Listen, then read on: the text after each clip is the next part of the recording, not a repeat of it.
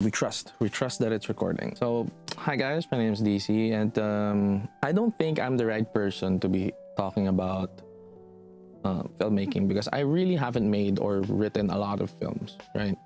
But i feel like there's i have a lot of opinions when it comes to when it comes to making films because i am exposed to it when i'm studying it. So if you guys didn't know i am I'm currently studying my undergraduate degree in BA film, although very, very slowly.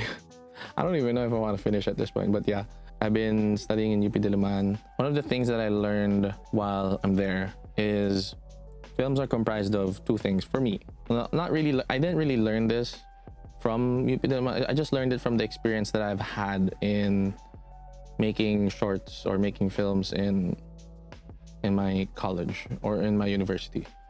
Um, so for me, films are comprised of two things, right? Films are the story, and then there's storytelling. For me, those two things, the story and the storytelling, they comprise of the two things that you need in order to create a good film. So to me, stories are built on information and how you present these bits of the story or these bits of the information builds the way you tell it, hence storytelling. What I mean by that is for example, you have this great story about a kid who's growing up and becoming this person, right? I can tell it to you in that way, or I can tell you, I can tell you about this guy who is is very mature, very intellectual, and he didn't really start out that way.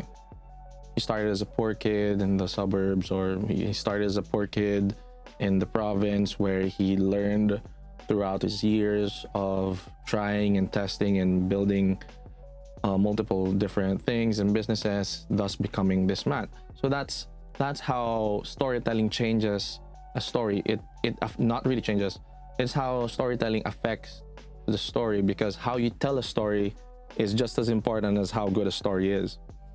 Um, information and how and when it is told progresses the story and molds the storytelling. So how you progress the story molds how your storytelling will develop, basically. On the opposite sense of that, the lack of information in the story is also storytelling. What do I mean by that? Meaning the way you imply bits of the story, the way you imply things that have happened in the past without actually telling it in the story or without outright saying it, what I feel like creates a really good film. For example, if I if I were to think of an example here, right? The thing that really pops into my mind is if we remember watching the Justice League, the Zack Snyder Justice League, where we see Barry Allen, the Flash, being this kid who's really awkward, really weird. They don't outright tell you about what happened to him as a child, but you can see on how he reacts to Bruce Wayne or Batman on how he was as a child, how he grew up, how he was awkward, he didn't really have friends. You can tell na he doesn't have the experience of talking to people or connecting with people because the way he connects with Batman is very awkward, very prodding and seeing where he can go and where he can't. So that's what I feel like creates a really good film where you imply bits of the story through storytelling. If there's one thing that you should take away from this from this very short video that I wanted to make is that information is the lock information is the lock. But the lack of information is the key. When you can combine the lock and the key, you unlock a good story and you unlock a good film. So yeah, that's it.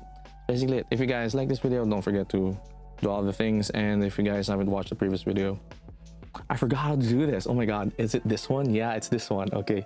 If you guys haven't watched the previous video, watch over this, watch over here. And if you guys want to do the thing, subscribe over here. So yeah. I haven't done this in a while. Nice.